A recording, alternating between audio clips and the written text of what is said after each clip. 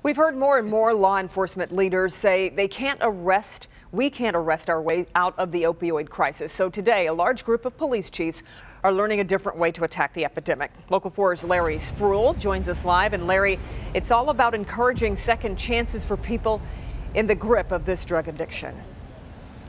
Kimberly, that seems to be the goal. I spoke with several police officers tonight, and they tell me, like you said, that we cannot just arrest our way out of the opioid drug addiction program. But they say that the Hope, Not Handcuffs program is another option. It's a meeting of the minds inside the Keego Harbor City Hall Thursday between a local judge and law enforcement from all over Metro Detroit. The topic at the forefront is an organization called Hope Not Handcuffs, led by Judge Linda Davis, the program's founder and the chair of Michigan's Opioid Task Force Committee. It's an initiative of Families Against Narcotics. The program provides much needed assistance to police departments to help their opioid addicted citizens.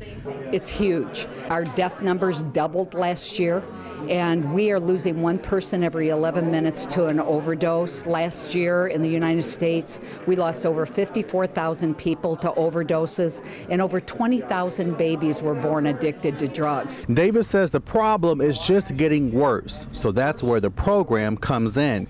Once a police department becomes a Hope Not Handcuff partner, anyone with an addiction can walk into that police station stating they need help. Ferndale Police Chief Timothy Collins says this program is needed. We come across uh, opioid abuse, not only the folks that live in our town, but the people that traverse our town. And there are several agencies across the country and across the state of Michigan that are participating in this program. One is in our local area, and that is Macomb County. We're live tonight. Larry Spruill, Local 4. Yeah. Okay, Larry, thank you.